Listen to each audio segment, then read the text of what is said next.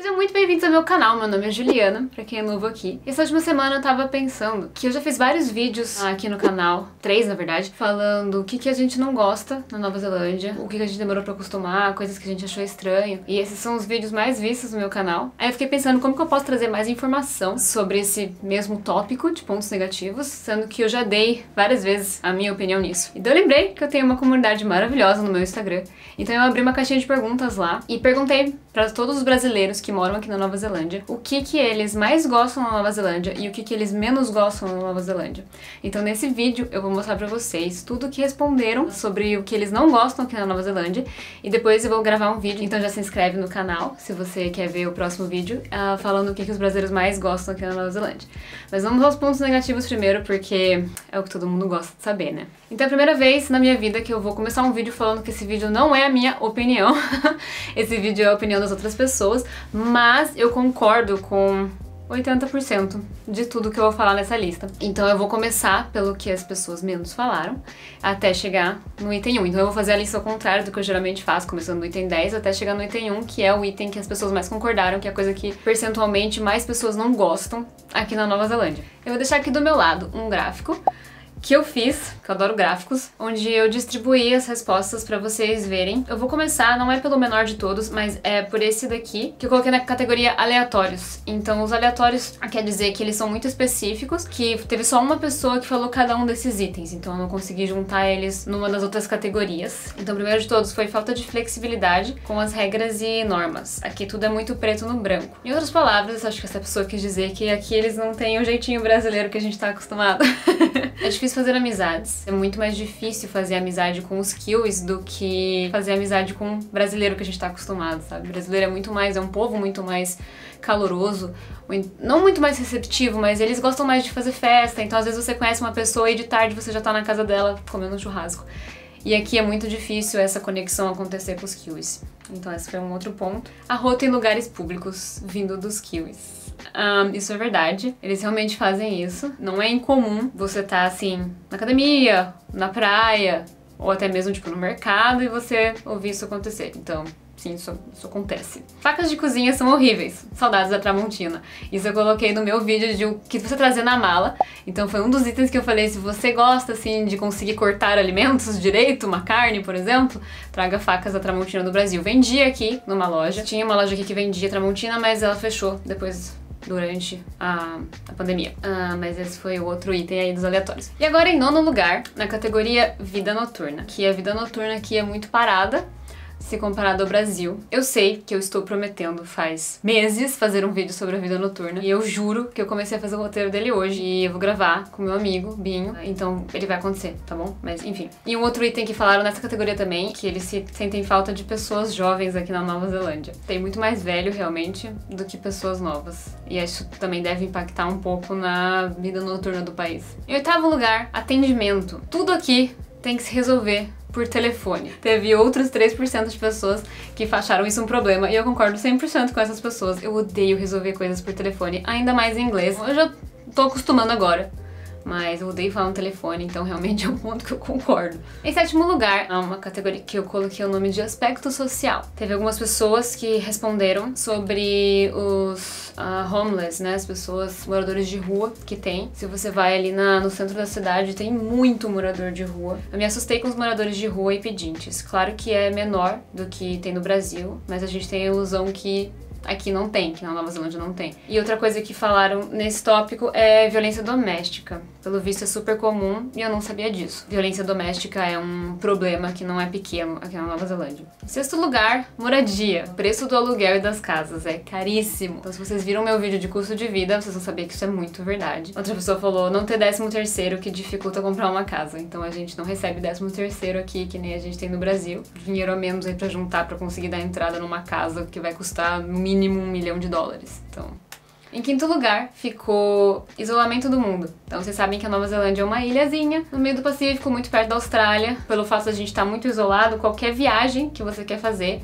fica caríssimo. Dificuldade de ir pro Brasil, o preço, o tempo que demora para chegar até lá e o fato de não ter voo direto, então você tem que fazer várias escalas para conseguir chegar lá. Basicamente a gente só tá perto da Austrália e das ilhas do Pacífico. Como consequência disso, as opções para quase tudo são muito limitadas. Então, alguns jogos cosméticos compras online, Amazon não tem aqui, por exemplo, tem que pedir da Austrália. Então são coisinhas que, pelo menos a gente tem a Austrália para salvar um pouco a nossa vida, mas esse isolamento na Nova Zelândia realmente é um ponto que pega bastante nesses itens. Em quarto lugar, alimentação. Então acho que isso é uma das coisas que os brasileiros mais sofrem, saudade das comidas que tem no Brasil. As comidas que mais me mandaram, que as pessoas têm saudade é mandioquinha salsa, pinhão, Pinhão você acha no Jardim Botânico. Dependendo da estação do ano, Jardim Botânico de Auckland, eu sei que você consegue lá colher pinhão para fazer, mas é realmente muito mais difícil você achar que você tem que ir lá colher na natureza.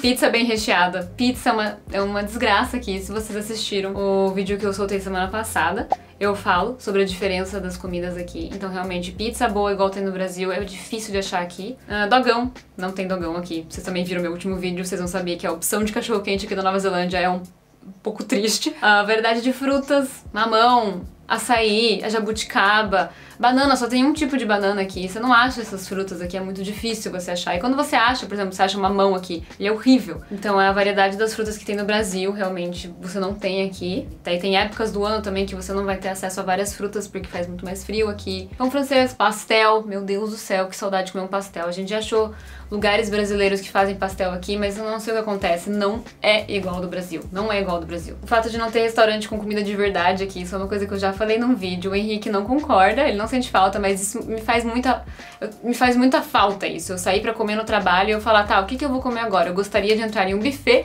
e pegar um prato de arroz, feijão, um peixe grelhado, uma salada, uma bananinha frita. Isso me faz muita falta e não tem isso aqui. Uma pessoa falou que não acostumou com arroz branco cozido e sem tempero nenhum daqui. Eu já vi um kiwi falando pra mim que ele aprendeu. Foi uma kiwi, na verdade, ela namorou um brasileiro há uns anos atrás e ele ensinou ela a fazer arroz com alho e cebola. E que ela só faz assim agora. Eu fiquei pensando, meu Deus, como é que você fazia arroz antes? Comida muito apimentada. Nossa, concordo pra caramba. Eu sempre tenho que perguntar pra ter certeza que se eu vou conseguir comer ou não. E mesmo quando você pergunta, se você for no restaurante e o atendente for coreano, chinês ou indiano e você pergunta, isso aqui é apimentado? E ele fala, não, não acredita nele. Vai ser muito apimentado. Porque o tranquilo deles é o apimentado pra caralho pra gente, entendeu? Isso não é nem só em comida asiática, mas se você pegar uma pizza, dependendo do lugar que você pega, ela vai ser muito apimentada e você não vai conseguir comer. Então é sempre bom perguntar, é uma coisa que eu também não gosto, não acostumei. Eu, eu já tô mais tolerante à pimenta, mas não tanto assim. Em terceiro lugar, sistema de saúde. Estou sofrendo com isso atualmente.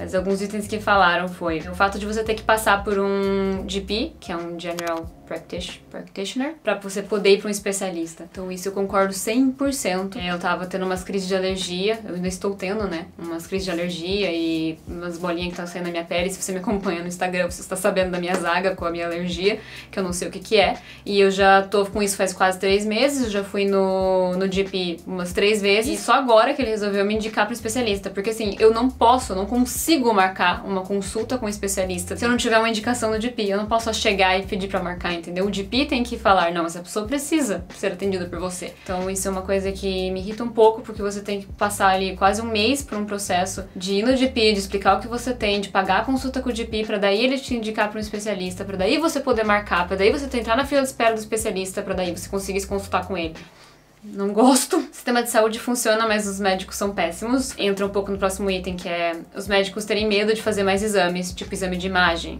E eles só receitam paracetamol. E o último item, que também odeio, é ter que ir no, no, no GP a cada seis meses para pedir anticoncepcional. Ele não é vendido sem receita médica. E toda vez que você vai no GP, ele te receita para seis meses de remédio. E no meu caso é assim que eu faço. Eu tenho que ligar lá quando acabar os seis meses e pedir para ela mandar mais uma receita de seis meses pro consultório, pagar 25 dólares só para ela mandar a receita pro, pro, pra farmácia, para ir lá comprar pra mais seis meses. E depois que fechar esse ciclo de um ano, eu tenho que voltar a fazer uma consulta para ela me perguntar se eu tô bem, só para ela me perguntar. Você tá bem? Você mudou alguma coisa? Tem alguma alergia, alguma coisa? Deu algum ruim? Não, tô perfeita. Daí ela pode receitar mais seis meses, pra daí começar esse ciclo de novo. É péssimo. Em segundo lugar, o horário de funcionamento das coisas. Uh, os shoppings, restaurantes e lojas fecharem muito cedo. Isso entra um pouco numa das, dos pontos que eu vou falar positivos. Mas o estilo de vida aqui, a qualidade de vida que você tem aqui, você percebe que os kiwis valorizam muito o seu eu pessoal. Então eles sabem que você tem uma vida fora do trabalho. E isso meio que se reflete no horário que as coisas fecham, porque eles vão fazer os funcionários trabalharem todos os dias até as 10 da noite pro shopping ficar aberto. Então os shoppings fecham 5 horas da tarde todos os dias da semana. Agora, em Auckland, pelo menos, eles começaram a fechar de quinta e de sexta-feira, eles fecham às 9 da noite. Então uma coisa que você tem que resolver, você tem que pegar folga, você tem que sair no meio do trabalho para resolver, porque vai fechar no horário que você sai do trabalho. Então é meio, meio, meio merda. Outra pessoa falou, parece um país fantasma às vezes, sinto falta de ver gente. É um país muito tranquilo e depressivo. Eu já ouvi mais de uma pessoa assim que não gostou daqui por achar muito depressivo. Se você não gosta desse estilo de vida de natureza, de fazer trilha, e se você quer mais agitação assim, você não vai ter isso aqui na Nova Zelândia. Então isso é um ponto positivo para mim, o fato de ser muito tranquilo, mas é um ponto negativo para várias pessoas, como para essas pessoas que mandaram responder aqui a pergunta. Em primeiro lugar, ficou o nosso querido clima.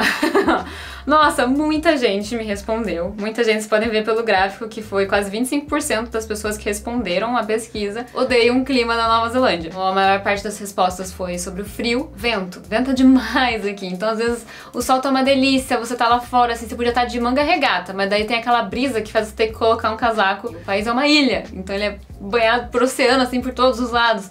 Então tem muito mais vento do que você tá acostumado se você mora no interior do Brasil. Chuva! Chover 14 vezes no dia. Então, como eu já comentei em outro vídeo, vai vir Curitibano aqui falar. Ah, em Curitiba também chove, faz sol, chove, faz sol. Aqui é diferente. Não é que faz todas as estações um dia, é que às vezes tá caindo uma chuva torrencial, meia hora depois tá um sol e você se queima. E depois começa a chover e fecha o tempo e fica nublado, começa a ventar e fica feio.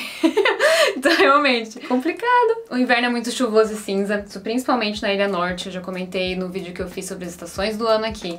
O inverno na Ilha Norte é muito triste. Em último, teve umas pessoas que falaram sobre a água do mar. A água do mar é muito gelada. Meu pai, eu liguei pro meu pai ontem e ele falou que lá no Guarujá a água do mar já tá agora em outubro, 20, tava nos 21 graus. Eu acho que não faz 21 graus a água do mar aqui, nem no alto no verão, assim. Muito difícil. Ah, então é isso. Esses foram os itens que me mandaram. Então deixa nos comentários o que, vocês acharam. Se você é um brasileiro que mora aqui na Nova Zelândia e não me segue no Instagram por algum motivo, deixa nos comentários o que, você achou. Se tem mais algum item que você também não gosta aqui. Muito, muito obrigada por todo mundo que respondeu, que responde as minhas enquetes no Instagram. Vocês são maravilhosos, vocês me ajudam muito a gerar conteúdo pra esse canal. E deixa um like nesse vídeo se vocês gostaram, ajuda no canal e ajuda mais ainda na minha autoestima. E eu vejo vocês no próximo vídeo. Muito obrigada por ter assistido. Tchau!